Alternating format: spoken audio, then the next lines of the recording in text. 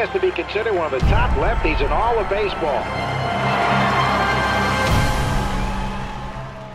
I have always been in favor of drug testing in sports, yes.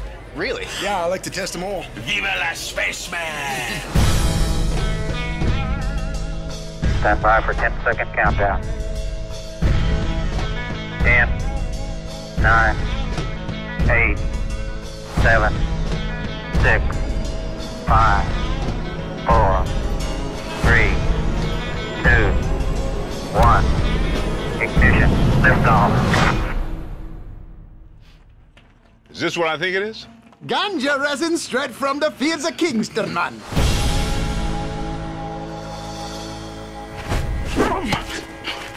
I ain't here to play patty cake, kiddo.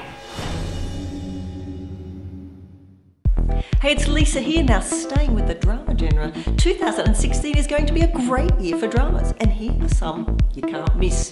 First up, Me Before You. Now, this is about a young woman who finds romance where she least expects it, and is based on the critically acclaimed best-selling novel by Jojo Moyes.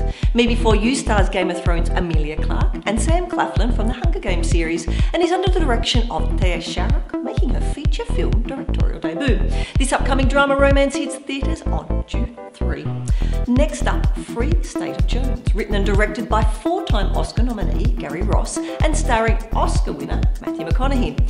Free State of Jones is an epic action drama set during the Civil War and tells the story of defiant Southern farmer Newt Knight and his extraordinary armed rebellion against the Confederacy. This upcoming drama action movie will open in theatres May 13. Now I've got Money Monster, and 12 years after they last worked together in Ocean's 12, Julia Roberts and George Clooney reunite Monster. Directed by Jodie Foster, this drama thriller is about Lee Gates, a TV personality whose insider trading tips have made him the money guru of Wall Street. When Kyle, a viewer who lost all his family's money on a bad tip from Lee, holds Lee hostage on air, ratings soar as the entire country tunes into this media frenzy to find out just how much a man's life is worth. Money Monster is set for release on May 13. Okay, so there you have it. Let me know in the comments below your thoughts on these movies, and I'll leave you with our drama movie playlist so you can watch all the trailers. See you next time.